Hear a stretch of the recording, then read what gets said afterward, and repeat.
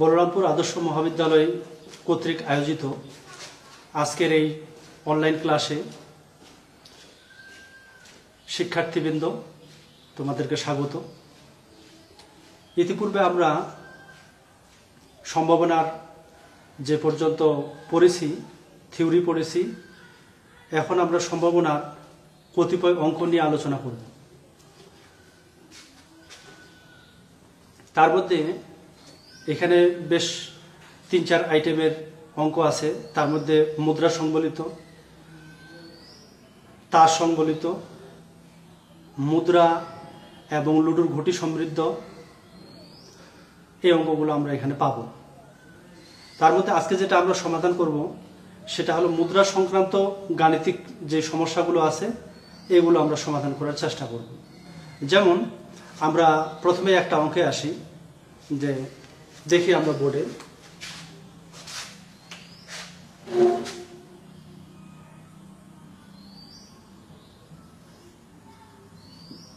প্রশ্ন এক।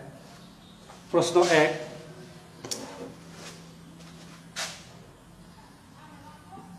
তিনটি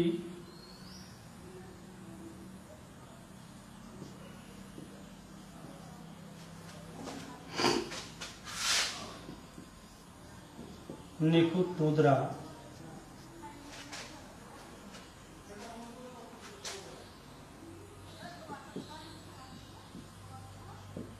টস করা হলো।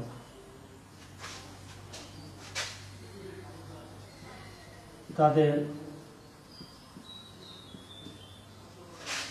নমুনা ক্ষেত্রটি লিখো।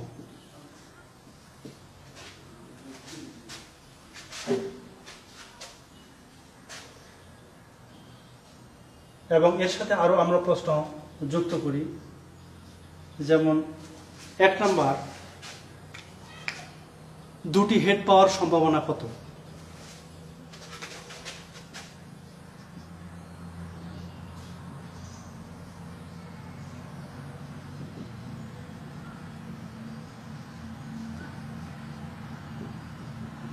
দুই নাম্বার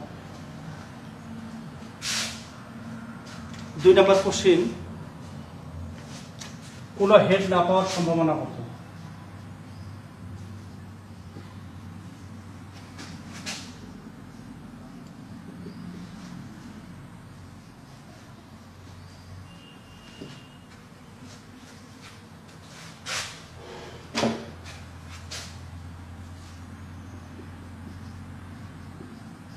তিনটি তিনটি হেড পাওয়ার সম্ভাবনা কত সুপ্রিয় শিক্ষার্থীবৃন্দ, আমরা এই তিনটাকে সমাধান করার জন্য, এই তিনটা প্রশ্নের উত্তর সমাধান করার জন্য সর্বপ্রথমে আমাদেরকে তিনটি যে নিখুঁত মুদ্রা আছে, এটাকে ইংরেজিতে বলা হয় আনবায়াসড আনবায়াসড কয়েন আমরা মুদ্রাকে ইংরেজিতে বলব কয়েন তো এই তিনটি নিখুঁত মুদ্রাকে আমরা যদি টস করি, অর্থাৎ এটাকে কোনো কোকড়ানো বা বাঁকানো করা যাবে না, এটা আনবায়াসড হবে, নিরপেক্ষ একটা মুদ্রা হবে। এই নিরপেক্ষ মুদ্রাটাকে আমরা তিনবার টস করব।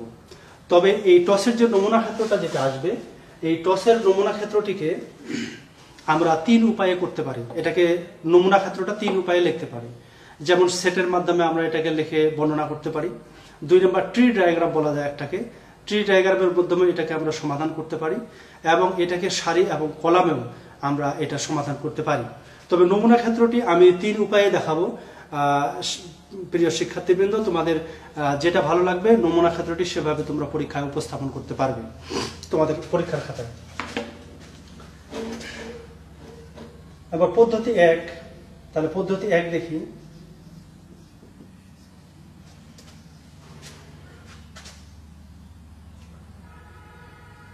যেমন, আমরা এক পাশে লিখলাম তিনটি নিখুঁত মুদ্রা, তাহলে আমরা কলামে নিব হলো দুইটি, কলামে দুইটি মুদ্রা নিব। কলামে আমরা দুইটা মুদ্রা টসের ফলাফল নিব এবং সারিতে নিব একটা। তাহলে দেখি ফলাফলটা কি আসে।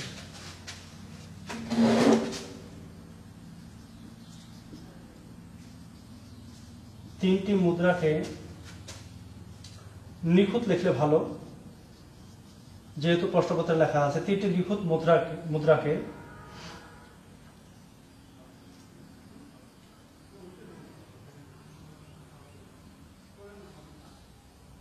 টস করলে অবলিক নিক্ষেপ করলে,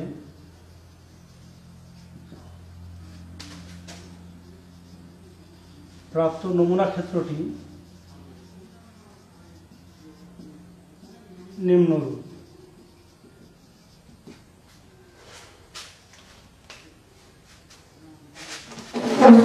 প্রাপ্ত নমুনা ক্ষেত্রটি নিম্নরূপ। তাহলে আমরা দুইবারের টসের ফলাফল যদি লিখি দুইবারের টসের ফলাফল। তাহলে দুইবার টসের ফলাফলে আমরা পাবো head head head tail tail head tail tail উপরেরটা হলো, যেটা আমরা কলামে লিখছি, কলামে লেখাটা হলো, এটা হলো দুইবারের ফলাফল। একটা পয়েন্টকে দুইবার টস করলে যে ফলাফল আসবে, তার ফলাফল। আর আমরা সারিতে লিখলাম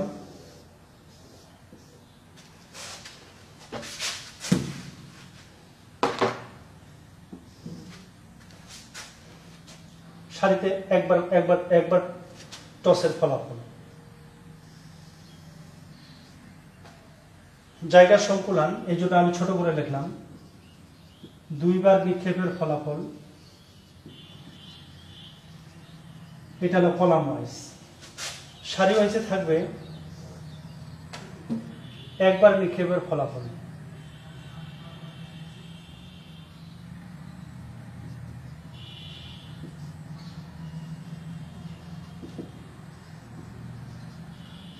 একটা হেড একটা হলো টেল তাহলে উভয়ের মধ্যে যদি আমরা উভয়ের মধ্যে যদি এটার করসপন্ডিং ঘটাই অর্থাৎ কলাম এবং সারিকে যদি একসাথে করসপন্ডিং ঘটাই তাহলে এর মধ্যে কি পাওয়া যাবে?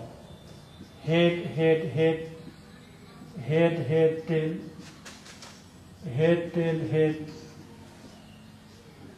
head tail tail পরেরটা পাবো আমরা tail head head tail head tail tail tail head tail tail tail. তাহলে তিনটি নিখুঁত মুদ্রাকে টস বা নিক্ষেপ করলে প্রাপ্ত নমুনা ক্ষেত্রে নিম্নরূপ। প্রিয় শিক্ষার্থী, এটা আমরা সারি এবং কলামে দেখলাম যে তিনবার টস করলে তার ফলাফলটা কি আসে। আমরা এখানে দেখতে পাচ্ছি যে তিনবার টসের ফলাফলের কারণে তাদের যে তিনবার টস করার কারণে তাদের যে যেটা ফলাফল আসে, সেটা হলো মোট আসে কয়টা? আটটা। আটটা। এটা হলো একবারে। এটা হলো পদ্ধতি এক। পদ্ধতি দুয়ে যদি আমরা দেখতে চাই, তাহলে কীভাবে আসতে পারে?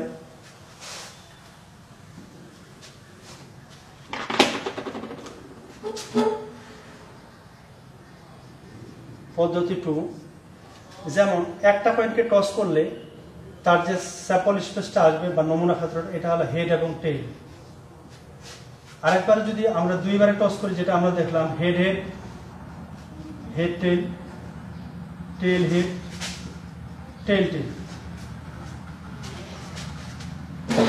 এখানে আমরা দুইটা পাইলাম। তো এটাকে যদি দুটার মধ্যে আমরা করসপন্ডিং ঘটাই, এটাকে ধরলাম যে একটা কয়েনের ফলাফল এস ওয়ান এটাকে ধরলাম এস টু দুইটা কয়েন এখানে দুইটা কয়েনের টসের ফলাফল, এখানে একটা কয়েনের টসের ফলাফল। তো আমরা এখন এটাকে এস ওয়ান এবং এস টু দুটাকে আমরা ক্রস ঘটাবো, ঠিক? সেটের যেভাবে সেটের ক্ষেত্রে দেখা যায় যে আমরা ওই ক্রমজোরের ক্ষেত্রে যেরকম লিখি আর কি, সেরকমই S one S two head দিয়ে প্রত্যেকটাকে আমরা গুণ করি, এটা দিয়ে প্রত্যেকটার সাথে জোড়া জোড়া head head head comma head দিয়ে প্রত্যেকটাকে head head tail head tail head head tail tail তারপরে টেল দিয়ে শুরু করি। Tail head head tail head tail tail tail head tail tail tail সুপ্রিয় শিক্ষার্থীবৃন্দ, আমরা দেখতে পাচ্ছি যে পদ্ধতি একে যে নমুনা ক্ষেত্রটা আসে, পদ্ধতি একে যে নমুনা ক্ষেত্রটা আসে, ঠিক এখানে আমরা দুইটাকে একসাথে ক্রস ঘটেছি ক্রস ঘটানোর ফলে এখানে যে সেটের উপাদানগুলো আসে, যে বা নমুনা ক্ষেত্রটা আসে এখানে কিন্তু নমুনা নমুনা নমুনা বিন্দু মোট আটটা। সে এক দুই তিন চার পাঁচ ছয় সাত আটটা। এখানে আমরা আটটা নমুনা বিন্দু পাইলাম। তৃতীয় একটা পদ্ধতি দেখি। এভাবেও করা যায়। এটাকে বলা হয় ট্রি ডায়াগ্রাম যেটা এখন আমরা করব এটাকে বলা হচ্ছে ট্রি ডায়াগ্রাম দেখি এটা কেমন।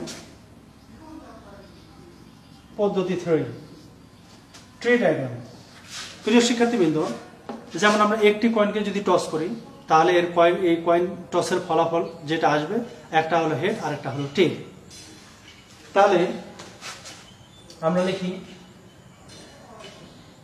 একটা কয়েনকে আমরা টস করলাম। ছোট করে লিখি, যেহেতু আমাদের স্পেস কম।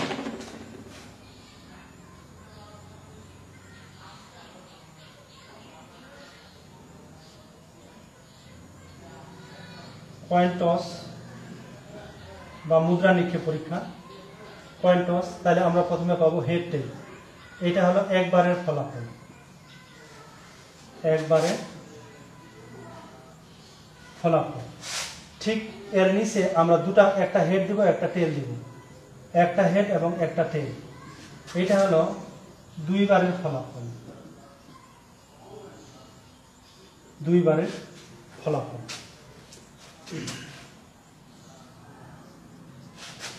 প্রিয় শিক্ষার্থীবৃন্দ, একবারের ফলাফল আমরা দেখলাম যে একটা কয়েনকে আমরা যদি একবার টস করি, তাহলে এর আমরা হেড পাবো এবং টেল পাবো। তাহলে এটা হলো একবারের ফলাফল। যখন এটাকে আমরা একটা কয়েনকে দুইবার টস করা আর দুইটা কয়েনকে একসাথে একবার টস করা, এটা একই কথা। তো আমরা এখানে পরে দ্বিতীয়, দুইবার টস করার ফলে আমাদের কি পাবো? যে আমরা দেখি, যেমন এর আগে আমরা দুইবারের ফলাফল লিখছিলাম head head head tail tail head এবং টেল টেল এটা হলো দুইবারের ফলাফল। তৃতীয়বারের ফলাফল দেখি এটা নিচে আবার দুটো, একটা হেড একটা টেল নেই এখানে একটা হেড একটা টেল নেই এখানে একটা হেড একটা টেল প্রত্যেকটার সাথে আমরা জোড়া জোড়া করে দিলাম। হেড টেল তাহলে আমরা তিনবারের ফলাফল পাচ্ছি head head head head head tail head tail head head tail tail tail head head tail head tail tail tail head tail tail tail প্রিয় শিক্ষার্থীবৃন্দ, এইভাবে তোমরা নমুনা ক্ষেত্রটাকে খাতার মধ্যে, পরীক্ষার মধ্যে, খাতার মধ্যে পরীক্ষা খাতার মধ্যে উপস্থাপন করতে পারবে। আচ্ছা এখন আমরা দেখি যেহেতু আমাদের ফলাফল চলে আসে, আমরা যেটা আমাদের,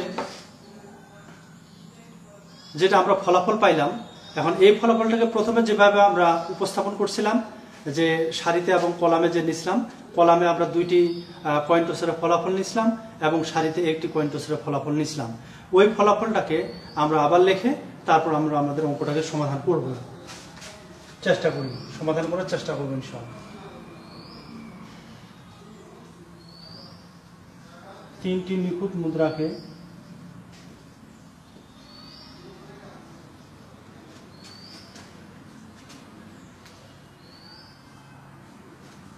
তিনটি নিখুঁত মুদ্রাকে নিক্ষেপ করা হলে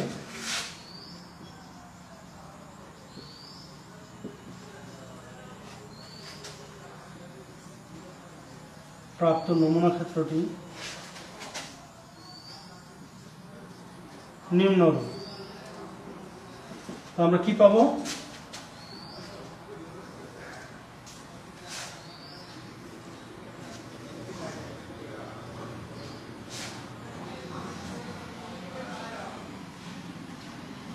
দুইবার নিক্ষেপের ফলাফল। এটা আমরা কলাম ওয়াইজ নিলাম। Head head tail.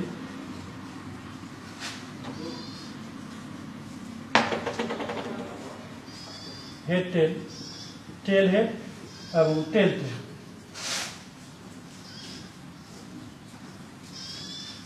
বাম পাশে আমি পূর্বেই বলেছি, এই পাশে আমরা একটা মুদ্রা নিক্ষেপের ফলাফল নিব।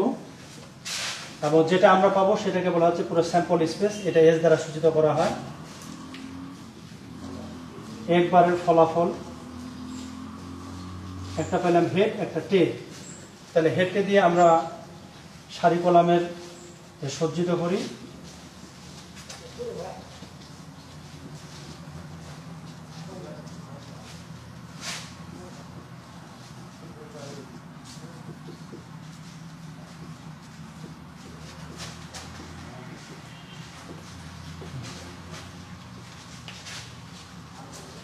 সুপ্রিয় শিক্ষার্থীবৃন্দ, এখন আমরা দেখব যে এটার যে একটা কয়েনকে যতবার টস করা হয়, এর ফর্মুলা হলো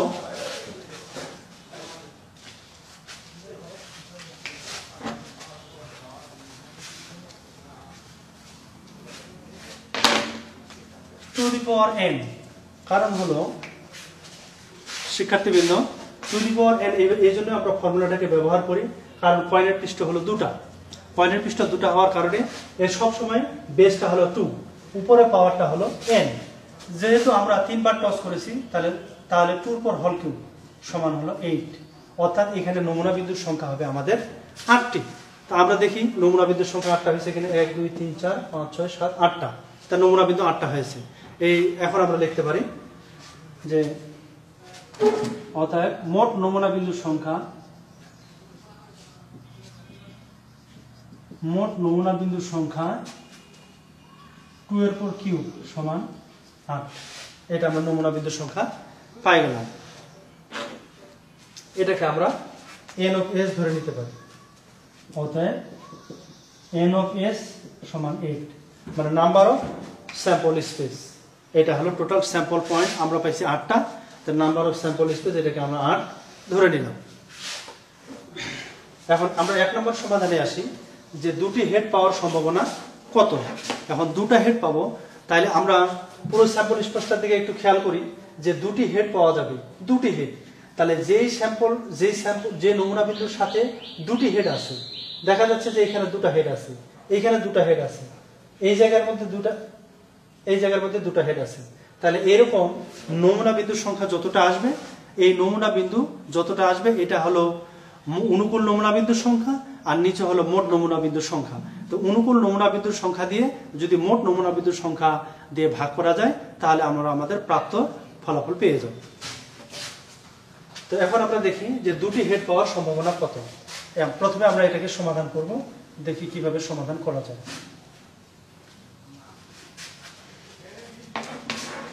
আমরা প্রথমে মনে করব যে সম্ভাবনাটাকে, দুটি হেড পাওয়ার সম্ভাবনাটাকে আমরা এ ধরে নিই বা বি বা সি বা ডি ধরে নিই। যেহেতু আমাদের প্রশ্ন এক নাম্বার, যেহেতু প্রশ্ন এক নাম্বার, সেক্ষেত্রে আমরা এটাকে প্রথমে এ ধরে নিই। এক নাম্বার, মনে করি এ ইকুয়াল দুটি হেড পাওয়ার ঘটনা।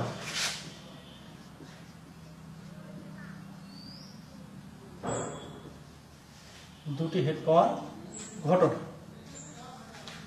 এটা আমরা এ এ ধরে নিলাম। এখন এ এর অনুকূলে যতগুলো নমুনা বিন্দুর সংখ্যা আছে, এ এর অনুকূলে যতগুলো নমুনা বিন্দু আছে, এগুলো আমরা লিখে ফেলি।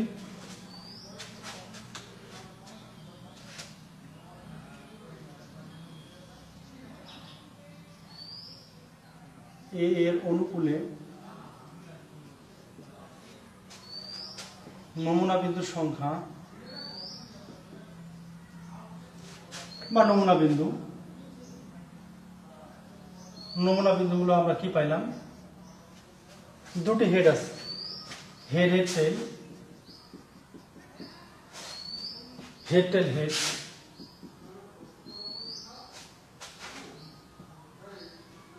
Tail, head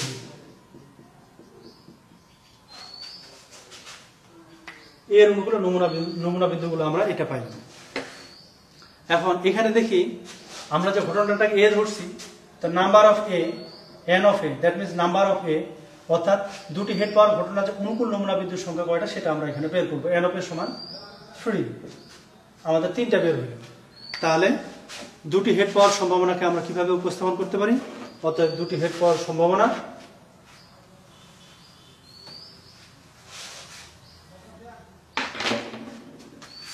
অতএব দুটি হে পাওয়ার সম্ভাবনা পি অফ এ ইকুয়াল অনুকূল নমুনা বিন্দুর সংখ্যা ভাগ মোট নমুনা বিন্দুর সংখ্যা। সমান আমরা লিখতে পারি। এন অফ এ ইকুয়াল আমরা পাইছি থ্রি আর এন অফ এস এটা পাইছি আমরা আট। তিন ভাগ তিন ভাগ আট। আমরা এটাকে এভাবে রেখে দিতে পারি। অথবা এটাকে আমরা ভগ্নাংশে, ভগ্নাংশ ভগ্নাংশ আকারে অর্থাৎ তিনকে আট দ্বারা ভাগ করো, এটার ফলাফলটা আমরা এখানে উপস্থাপন করতে পারি। এখন আমরা দুই নম্বর সমাধানে যাব।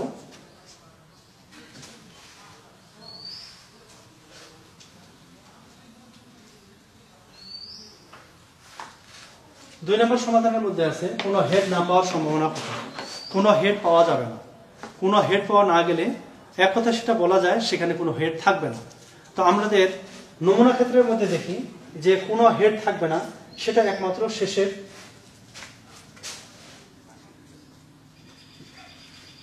শেষেরটা তিনটাই টেল টেল টেল তাহলে এখানে কোনো হেড নাই, অর্থাৎ যে জায়গার মধ্যে কোনো হেড নাই, সেটাই হলো কোনো হেড না পাওয়ার সম্ভাবনা নমুনা বিন্দু। তাহলে আমরা দেখি আবার ধরি দুই নম্বরের জন্য। ধরি বা মনে করি বি ইকুয়াল কোনো হেড না পাওয়ার সম্ভাবনা। কোনো হেড না পাওয়ার সম্ভাবনা। তাহলে কোনো হেড না পাওয়ার সম্ভাবনা। এবার এখানে আমরা পূর্বের মতো যে বিয়ের অনুকূলে যেগুলো নমুনা বিন্দু আছে, বিয়ের অনুকূলের নমুনা বিন্দুগুলো আমরা লিখে নিই। অতএব বি এর অনুকূল, বিয়ের অনুকূলে নমুনা বিন্দুর সংখ্যা। নমুনা বিন্দু, সংখ্যা নাই নমুনা বিন্দুগুলো? তাও লেখা যায়। কোনো হেড নাই। দ্যাট মিনস সবগুলোই হলো টেল কোনো হেড নাই, তার মানে সবগুলোই হবে টেল অতএব নাম্বার অফ বি ইকুয়াল দেখা গেছে, এটা একটা মাত্র স্যাম্পল পয়েন্ট এটা হলো ওয়ান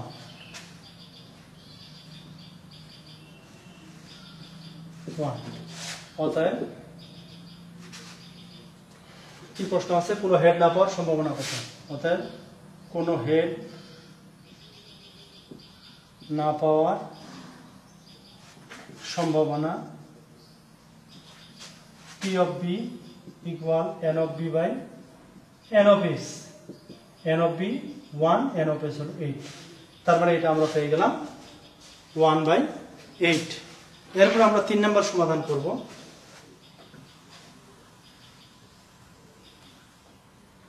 তিন নম্বর সমাধানের মধ্যে আছে, তিনটি হেড পাওয়ার সম্ভাবনা কত? তিনটি হেড পাবো।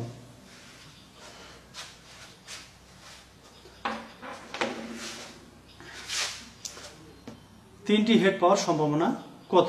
তাহলে তিনটাই যদি হেড আমরা নিতে চাই, তাহলে এই নমুনা ক্ষেত্রের মধ্যে সর্বপ্রথমে তিনটি হেড দেখা যাচ্ছে, নমুনার প্রথম সারির এবং প্রথম কলামের মধ্যে আছে। তাহলে এটাকে আমরা, এটা বলতে পারব যে তিনটি হেড তিনটি হেড পাওয়ার সম্ভাবনা হলো এটাই। তো এখন আমরা এটার জন্য আবার একইভাবে আমরা লিখি।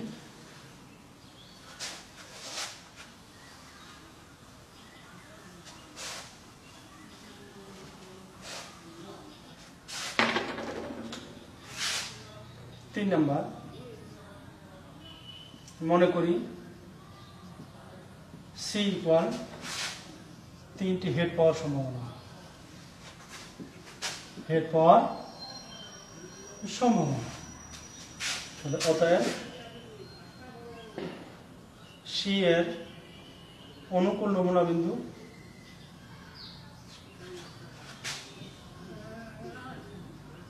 নমুনা বিন্দু কত? তিনটাই হেড তিনটি হেড পাওয়ার সম্ভাবনা। অতএব এন অফ সি সমান একটা পাইছি আমরা অতএব আমরা কি লিখতে পারি অতএব আমরা লিখতে পারি যে তিনটি হেড পাওয়ার সম্ভাবনা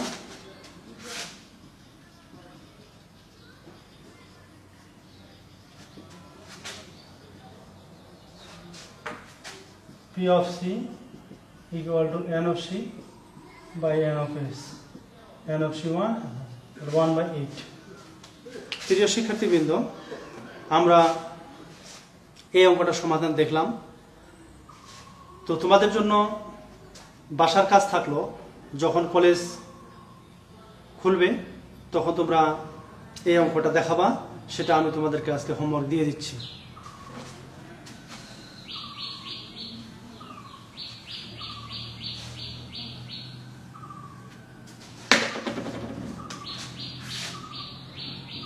হোমওয়ার্ক? হোমওয়ার্ক থাকল। একটি নিরপেক্ষ মুদ্রাকে একটি নিরপেক্ষ মুদ্রাকে চারবার টস করা হলো। চারবার নিক্ষেপ করা হলো। প্রাপ্ত নমুনা ক্ষেত্রটি লিখুন।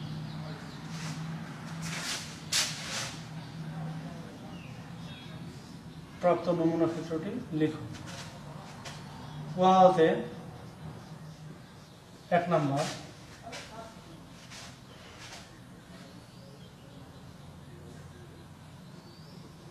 তিনটি হেড পাওয়ার সম্ভাবনা কত?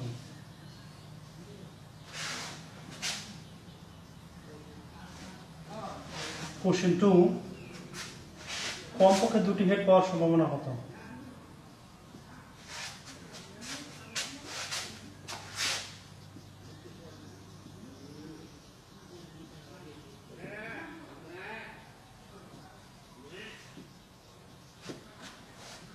কমপক্ষে দুটি হেড পাওয়ার সম্ভাবনা তো কত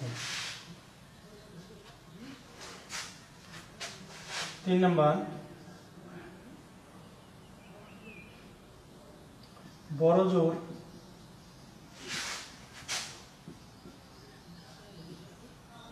দুটি তেল পাওয়ার সম্ভাবনা কত